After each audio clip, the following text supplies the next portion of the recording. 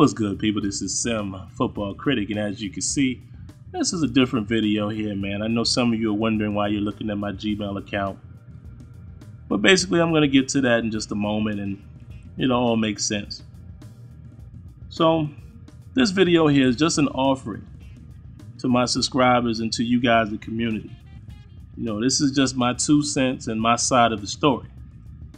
You know, I've been advised that, you know, there are guys out there saying that I stole the Sim Standard and, you know, I took over the channel and I stole ideas and things like that. And it's really funny to me because, first of all, I had no idea anyone was really feeling that way. Second of all, we're talking about a YouTube channel. And third, I haven't spoken to anyone recently. I mean, it was told to me that, you know, people are saying that they talked to me the other day or a little while ago about the website. Not true at all. I haven't talked to anyone about the simstandard.com website. The only people I've even actually mentioned it to was Smitty and Azure Effect and I believe Shakedown. You know, I said before that, you know, we needed to take it to another level outside of YouTube. But as far as, you know, speaking to someone recently about the idea, not true at all. As you can see right here, I purchased the domain on June the 28th. You'll see it in just a moment. But yes, I purchased the simstandard.com from GoDaddy on June 28, 2012. All right, now you guys know the Sim Standard has been in existence for about two years now, as far as the YouTube channel. So how come it took until June for the domain to be bought? You know, everyone pretty much knows when you are attempting to have a website, the first thing you do is lock down the domain. So I'm just saying, you know, if this was an idea that someone had, and I, I'm not saying they didn't. I don't. Hey, I don't know what kind of ideas people had. It wasn't shared with me. But all I'm saying is, why hadn't the domain been purchased? As well as if I was doing this for personal benefit, why haven't I opened the website yet? I'm taking my time. I mean, honestly, I'm not even sure if I will do a website. What I really did was just lock down the name. So if we decide to continue with the sim standard and take it to another level, we already have the .com. That's called smart business.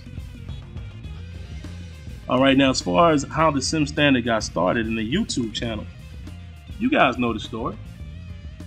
It was eight of us on Skype.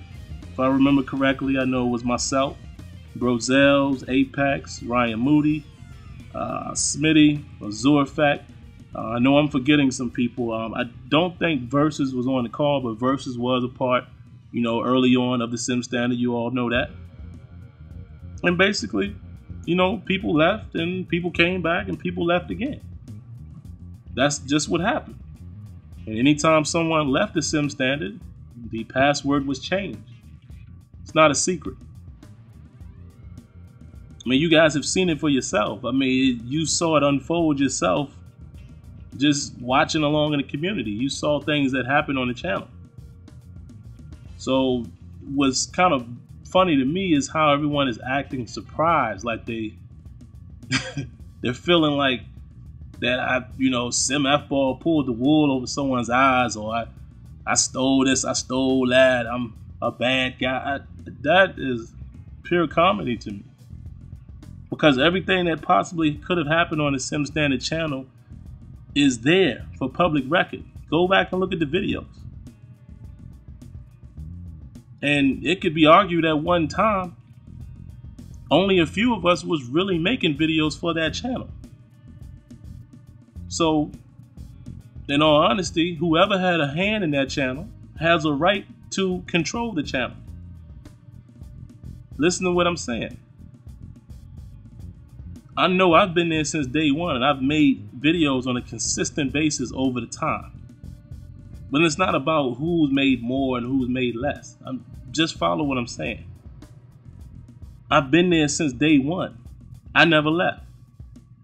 When people left, the password was changed. So automatically the quote unquote ownership of the channel changes. It's only a handful of us now who have the password. We all own the channel. It's just as simple as that. Like I said, do the history. Go look at all of the videos and you tally it up for yourself. You know, look and see who were the people who were making the channel. I mean, making more of the videos. But it's not about that. It's, it's a YouTube channel, people. And at the end of the day, if you really want to get technical, I don't even need the Sim Standard. I don't need the Sim Standard channel to do what I have to do. My goal has been reached. My intentions when I made videos was to reach the devs. I've done that with all three companies. And that probably is some new information to some of you guys. Yeah. 2K has even sought out things that I've done. Just unfortunate that they're, they're not making football right now. But I did a lot as far as feedback and contact with Backbreaker. And as you can see, I'm doing a lot with EA Sports. But understand, people, the, the Sim Standard as the name didn't get me there. We were all individuals who came together. The Sim Standard was a hub channel, definitely. Great channel. But understand that the devs knew me. They knew Smitty, they knew Azure. Even without the channel.